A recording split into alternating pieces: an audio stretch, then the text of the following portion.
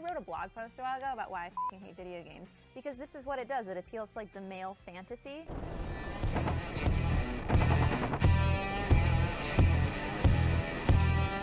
It's on the right hand side.